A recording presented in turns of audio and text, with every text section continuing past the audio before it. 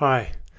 Now I guess you're wondering how you get your little wee image to show up in the Google search results like this here.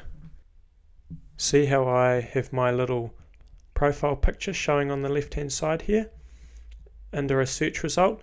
I'm going to show you how you can get your profile picture to show here. If you don't know already how to do it, you need to have a WordPress website. Keep watching.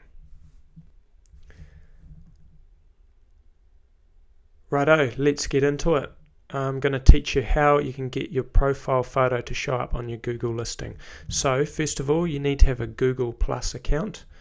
And in this Google Plus account, you're obviously going to need to have your profile picture. So, all you do is you go to your profile picture, profile page here under Google Google Plus and make sure you've got the About tab selected, not the Posts, but the About tab.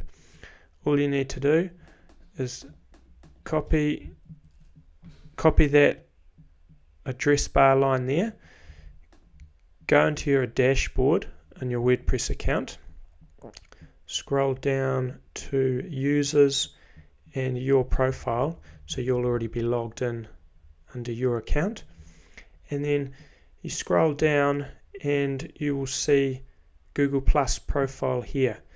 And you just paste in that address. See how it's got the About tab at the end there? So make sure, making sure it's the About page that you are using. Honestly, it's as simple as that. Update profile, save your settings, and then over time you'll start to see this little profile picture show up. Now I'm not sure if this Google Plus is an option on older versions of WordPress or how far back that goes. So if you don't see it, maybe that's the issue and you need to upgrade your WordPress install.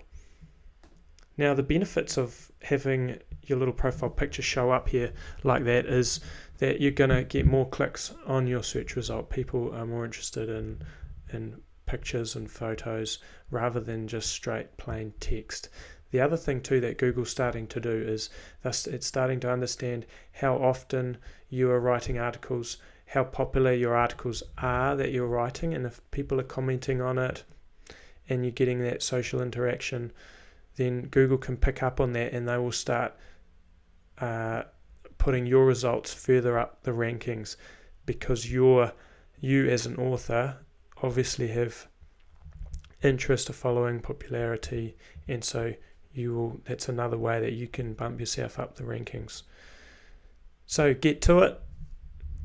Um, let me know how you get on if you have any problems. And thanks for watching.